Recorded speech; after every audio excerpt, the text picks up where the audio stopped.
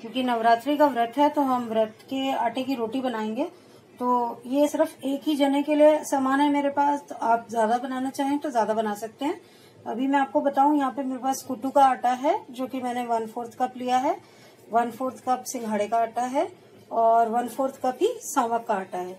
यहाँ पर मैंने एक बारीक बारीक हरी मिर्च काट ली है, नमक और लाल मिर्च है, कश्मीरी कश्मीरी लाल मिर्च आधा चम्मच है, नमक भी स्वाद अनुसार है, और यहाँ पर जो आधी मूली है, वो मैंने कद्दूकस कर ली है। इसके अंदर थोड़ा सा देसी घी डाल के हम पहले इसको माड़ेंगे, सब कुछ मिक्स कर लेंगे, अगर ज़रूरत पड़ेगी तो पानी भी डालेंगे और फिर माड़ेंगे। आधा चम्मच जितना घी डाल देंगे। ज़्यादातर हम लोग व्रत में थोड़ा घी ही डाल के बनाते हैं खाना तो ये सब मिक्स कर देते हैं हम। और अगर ज़रूरत पड़ेगी तो पानी भी डाल के मारेंगे पहले ये सब अच्छे से मिक्स कर देते हैं।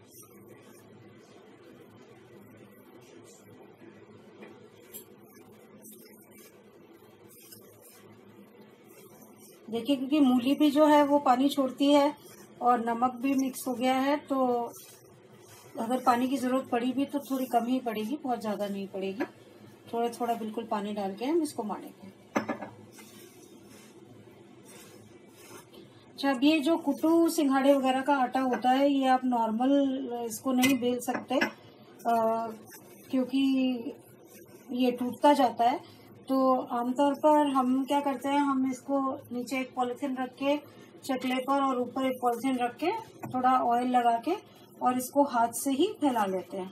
तो अभी पहले ये हो जाता है फिर हम बनाएँगे इसको। पहले आटा मार लेते हैं अच्छे से।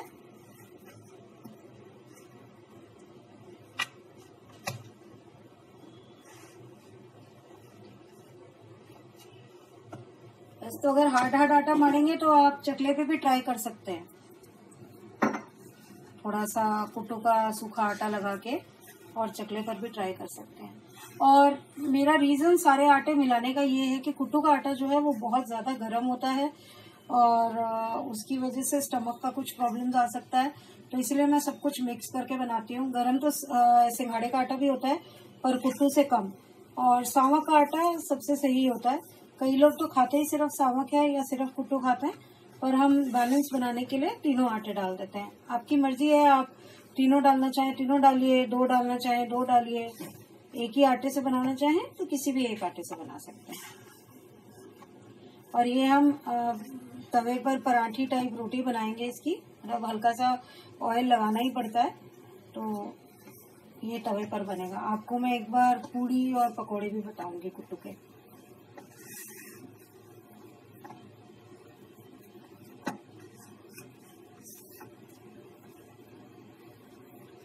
थोड़ा सा अभी हार्ड है तो हम थोड़ा सा इसमें पानी भी डालेंगे और हल्का सा ऑयल भी डालेंगे। अब क्योंकि व्रत का बन रहा है, इसलिए ऑयल हम डायरेक्ट अपना ओपन उससे नहीं डालेंगे। अपने जो मेन बड़ा वाला डब्बा होता है, उसी से डालते हैं। क्योंकि व्रत में थोड़ा सा ये ख्याल रखने की ज़रूरत होती है कि आप हर चीज़ शुद्ध रखें। दूसरे ऑयल में हम लोग चम्मच मारते रहते हैं तो इसलिए उसको यूज़ नहीं करते। जब ये पराठी भी बनाएँगे तो भी हम कटोरी में फ्रेश ऑयल लेके और फिर बनाएँगे। घी से भी बना सकते हैं वैसे। ये देखिए, हमने अच्छे से लिसा भी लिया है आटा। कहीं चिपका हुआ नहीं है, अच्छे से निकल गया है सारा। तो अब हम इसको पाँच दस मिनट के लिए रेस्ट करना रख देते हैं और फिर हम इससे पराठियाँ बनाएँगे। मैंने एक बना के देखा था ये, क्योंकि हमने हार्ड हार्ड आटा लिया था तो अच्छे से बन गया है तो हम ऐसे ही बनाएँगे इसको। देखिए, मैंने इतनी पेड़ी ली है। और ये भी मेरे पास जो सूखा आटा है, वो सिंघाड़े का है। सिंघाड़ा, सावक कोई भी ले सकते हैं आप। थोड़ा सा सूखा बीच में आटा एक दो बार और लगाना पड़ेगा। ये स्लैब की प्लेन सर्विस है, जिसको मैंने अच्छे से धो के साफ़ कर लिया था और सुखा लिया था।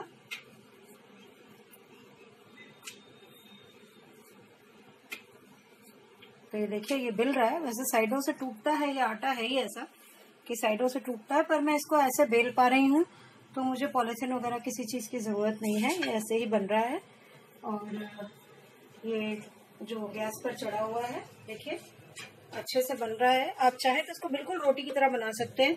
घी भी कुछ भी लगाने की ज़रूरत नहीं है। और चाहे तो हल्का सा घी लगा सकते हैं क्योंकि हमें इसको सिर्फ़ दही के साथ खाना है, इसीलिए मैं इसमें हल्का सा घी भी लगाऊँगी। और इसको मीडियम आँच पे पकाया जाता है, क्योंकि ये जो नहीं तो पकता नहीं है, ये आटे की रोटी की तरह तेज आँच पे नहीं पकता तो मैंने हल्का सा मीडियम आँच किया है इसका।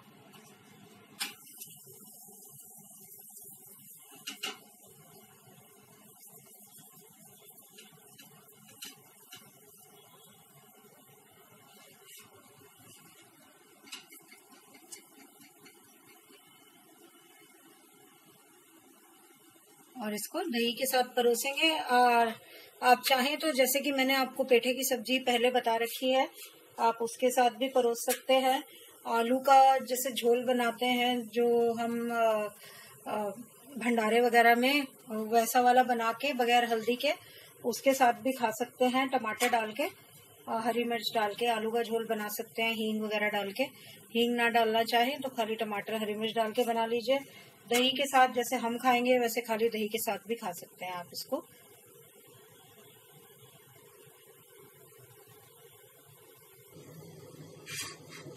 दोनों तरफ़ से हो गया है अच्छे से। पराठी, आप चाहें तो थोड़ी मोटी भी बना सकते हैं ताकि कड़क ना बने। हमें ऐसे कड़क सी अच्छी लगती है तो हम ऐसे बना रहे हैं। थोड़ी मोटी भी बना सकते हैं। मैंने देखिए फॉइल पे रख दी है। अब अगली भी बना दूँगी, फिर हम इसको सर्व कर देंगे दही के साथ। सेक मैंने कम कर दिया था दोबारा मीडियम कर रही हूँ। इसको पका लेते हैं, फिर दही के साथ इसको सर्व करेंगे। देखिए, हमने दही के साथ सर्व किया है इसको। और दही में सेंधा नमक और काली मिर्च मिलाई है। आप सेंधा नमक की जगह काला नमक भी यूज़ कर सकते हैं क्योंकि ये व्रत के लिए है। तो नॉर्मल नमक अवॉइड ही कीजिए। बाकी अगर आप नॉर्मल नमक खा लेते हैं तो कोई प्रॉब्लम नहीं है, आप वो यूज़ कीजिए। और दही के साथ वैसे बेस्ट लगता है क्योंकि जैसा कि मैंने कहा, ये आटा गर्म होता है तो दही से इसमें ठंडक आती है। तो आप भी बनाइए, खाइए व्रत में, आपको बहुत स्वाद लगेगा मूली डाल के। और हम आपको पूड़ी और पकोड़े का भी रेसिपी बाद में शेयर करेंगे। So thank you so much bye bye